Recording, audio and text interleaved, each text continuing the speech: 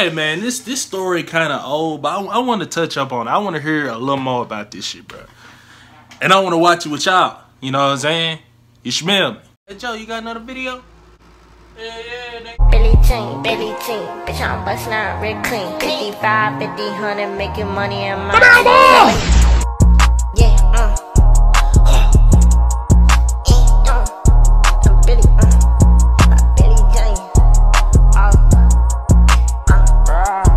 What's good, y'all? It's your brother, homie Joe, and now listen, bro. It's his story from two years ago. First of all, a subscriber, bro, he was in the comments, bro. He was like, bro, I wanted to go to Morocco, but what happened to them two girls, I don't want to go no more.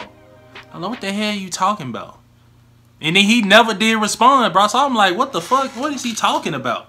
So I looked up, like, you know what I'm saying? I, I, I think I said something like, you know, in Morocco or two girls in Morocco, and this came up. This is on CBS News.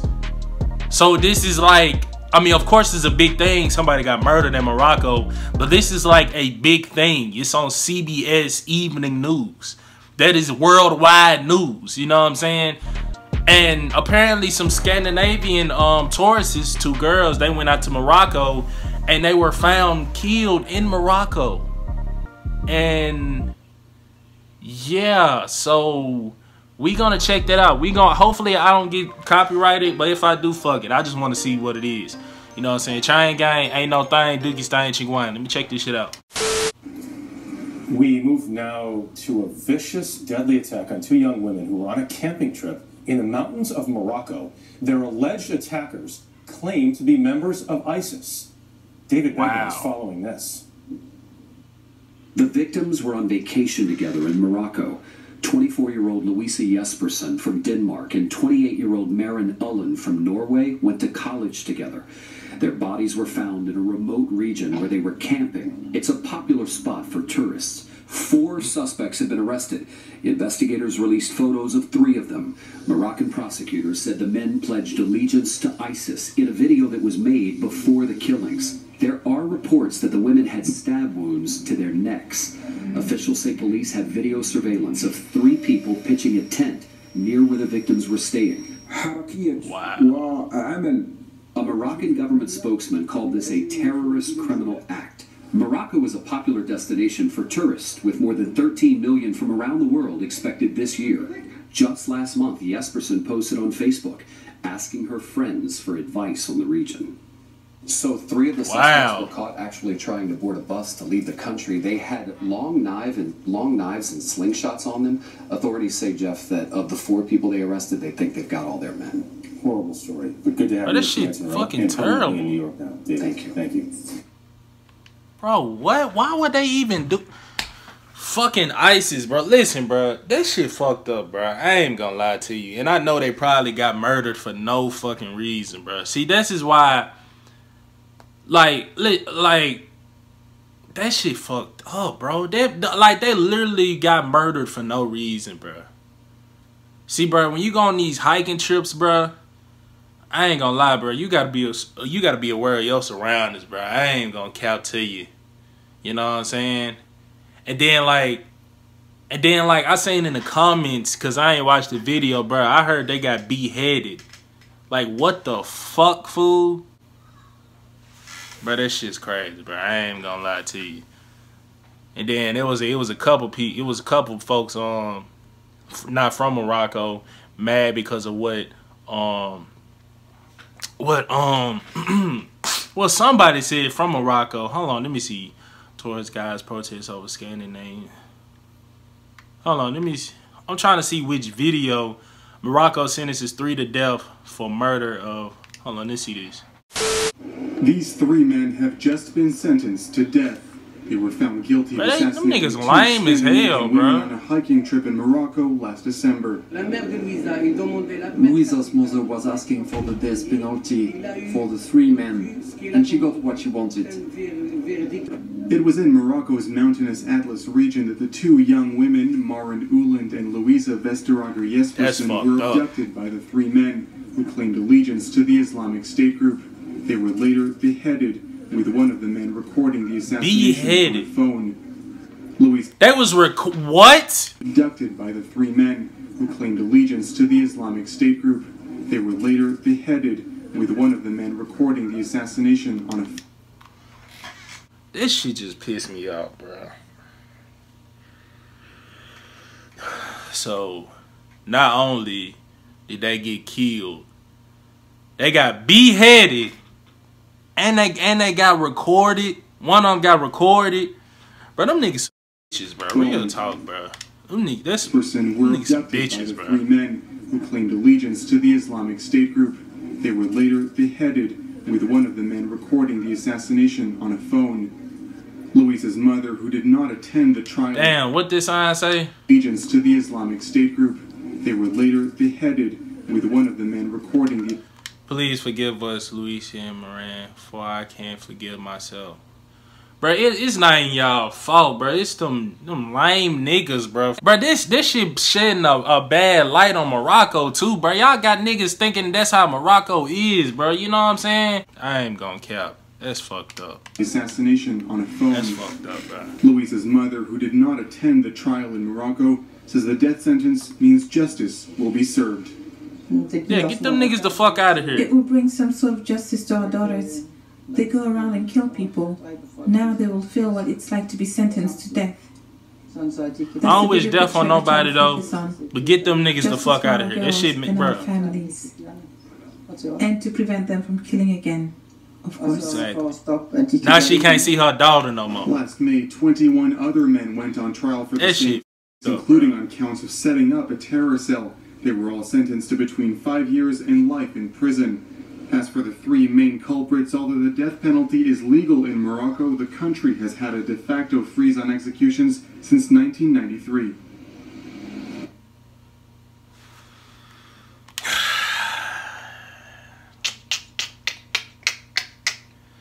That shit fucked up, bro. Like it is no.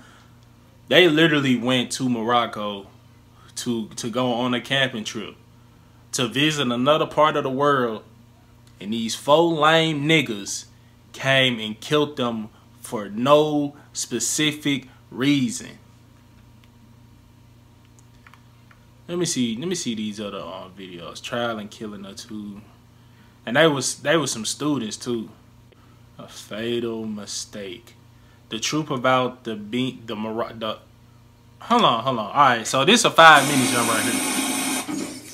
Sloppy Slav TV. Last week, the world was shaken up after news surfaced detailing the horrific murders of two Scandinavian tourists in the remote mountain region of Morocco. Maren Ueland of Norway and Louisa Jespersen of Denmark were found brutally murdered after two French hikers discovered their bodies in an isolated area near Imlil en route to the popular hiking destination of the Toubkal mountain peak. According to chilling news reports, the bodies of the young women were found in close proximity of their tent, and both of the young women had been brutally decapitated. Following the incident, four men were taken into custody after authorities discovered niggas, bags as they attempted to board a bus to the popular tourist resort of Agadir. Authorities have since revealed that one of the men in custody bears a striking resemblance to one of four men. Bro, that shit is crazy, boy. On social media declaring his allegiance to ISIS, and that another has affiliations to an extremist group in Morocco. Since then, nine additional suspects have been taken into custody,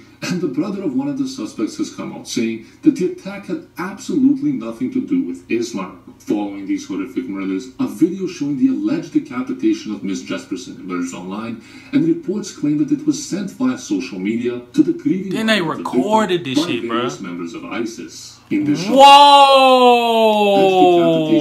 Jespersen emerged online, and Mother of murdered Scandinavian tourist was sent graphic images of her daughter's kid. Bro, are you fucking serious, bro? Bro, what? So she got she got Im hold on, dog. Boy, ain't no fucking way, boy. Boy, ain't no fucking mother. So she got images of her daughters getting of her daughter getting. So she got images of her daughter getting cut off.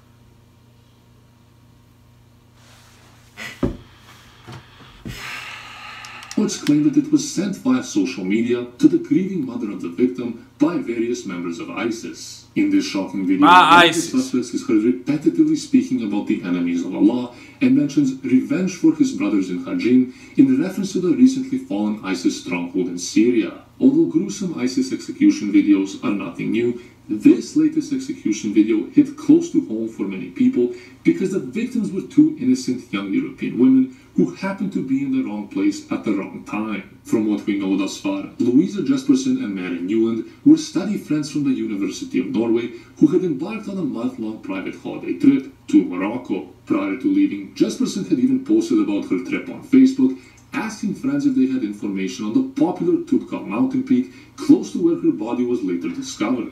Although and that was her last message on Facebook. Which is visited by half a million tourists annually, it is nonetheless a country with a history of jihadist extremism and terrorist activity. In fact, a quick glance at the US Embassy and Consulate of Morocco website reveals multiple travel warnings linked to extremist activity in parts of Morocco, with the most recent one having been issued on the 13th of December this year. While travel enthusiasts are often told that the world is their playground and that the bounds of exploration have no limit, the truth is that many parts of the Middle East are not exactly the safest travel destinations Damn. present. In fact, just a few days before their deaths, the two young women had been cautioned about camping alone in the remote regions of Toubkal by local Moroccan mountain guide. Realistically speaking, two blonde women traveling unaccompanied through the remote regions of an Islamic country make for an extremely easy target for those who wish to bring them harm. I think it's really sad, especially I know there's two women. I suppose I feel safer because I'm here my partner who's a man. Despite their lust for adventure and pacifism, these two young women, like countless others, are sadly the product of a very deceitful and very naive Western society. The women's home countries of Denmark and Norway have long fostered a climate of tolerance towards mass migration from Africa and the Middle East, and are now Damn. desperately scrambling to find a solution to this ever-growing problem. Couple this with EU hate speech laws, which throw people into jail for raising concerns over Islamic violence, and chances are that you'll produce a generation of people who are completely oblivious to the fact that radical Islamists want nothing more than to see them dead. Quick glance at one of the victim's Facebook posts reveals this exact kind of irony in a video shared back in 2015, in which white people are cautioned against judging Muslims based on their appearance. Sadly, these two young women were most likely brainwashed into believing the notion that third world foreigners are just as welcoming and tolerant of us in their countries as we are to them in ours. Breeding this kind of naive mindset foolishly leads many young people to believe that third world countries will welcome them with open arms and that their differences will be embraced in jihadi flooded countries with completely backwards value systems. Although the horrific murders of these two innocent young women have shaken up the world, they've also served as a valuable lesson for those who wander off naively into dangerous territory, believing that they'll be welcomed and accepted. While we're often told by a progressive leftist culture that embracing third world foreigners will create a reciprocal attitude of tolerance towards us, the truth is that many of these foreigners still embrace violent anti-Western ideologies and hostile attitudes towards us. These types of false leftist notions misled the young women into believing that they'd be welcome in an isolated mountain region prone to terrorism, where the very same people that they were taught to embrace ultimately ended up taking their lives.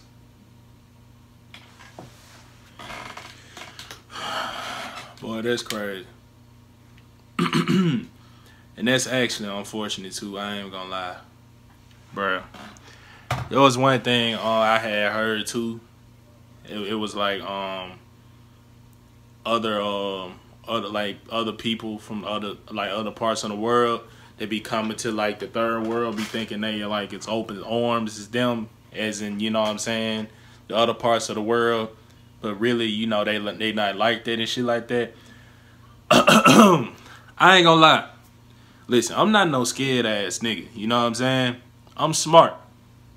It's a big difference. It's a big difference of being scared they're being smart. You know what I'm saying? I ain't scared of no fucking body. I only fear God. I walk with God. You know what I'm saying? I know, I, you know what I'm saying?